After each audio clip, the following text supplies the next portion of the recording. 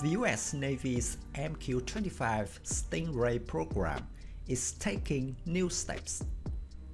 According to the US Navy, the MQ-25 will be the world's first operational carrier-based unmanned aircraft and is integral to the future carrier air wing, and that the MQ-25 will provide an aerial refueling capability that extends the range, operational capability, and lethality of the carrier air wing and carrier strike group.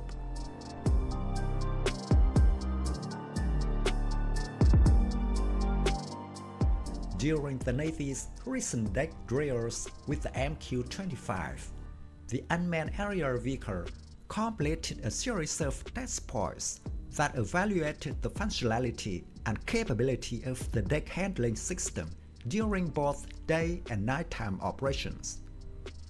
The Navy began deck trials earlier this month.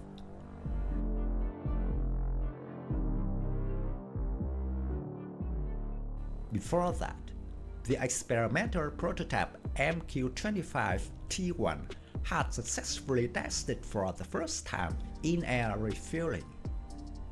The test flight took place on June 4th and successfully refueled the US Navy's F-18F uh, Super Hornet.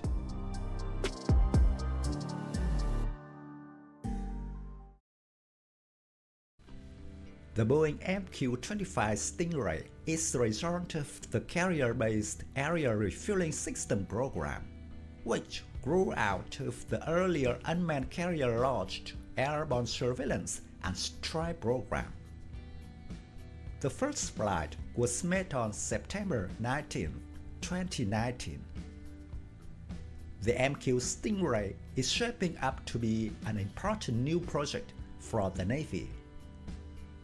Refueling at sea and in the air is crucially vital and allows Navy planes to remain in the air and on station for extended periods of time.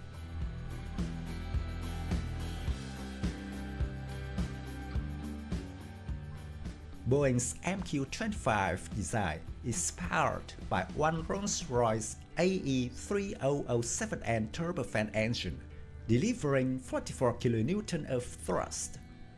This is a variant of the engine used to power the Navy's MQ-4C Triton.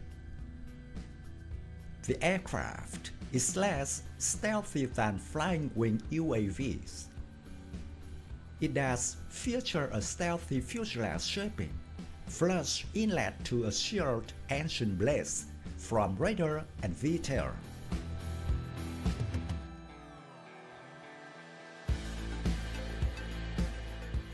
One of the United States' premier aircraft, the F-35 Lightning II stealth fighter, has sustained criticism, with detractors pointing to the airplane's combat radius as a serious weakness inherent to the plane.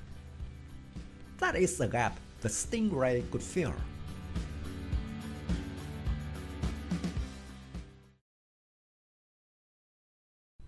Earlier this year, an MQ-25 topped off an F-35C Lightning II in the air over Illinois, a program first. The Navy explained that they would like the Stingray to eventually be able to refuel all Navy aircraft currently capable of receiving fuel in the air, providing greater operational flexibility.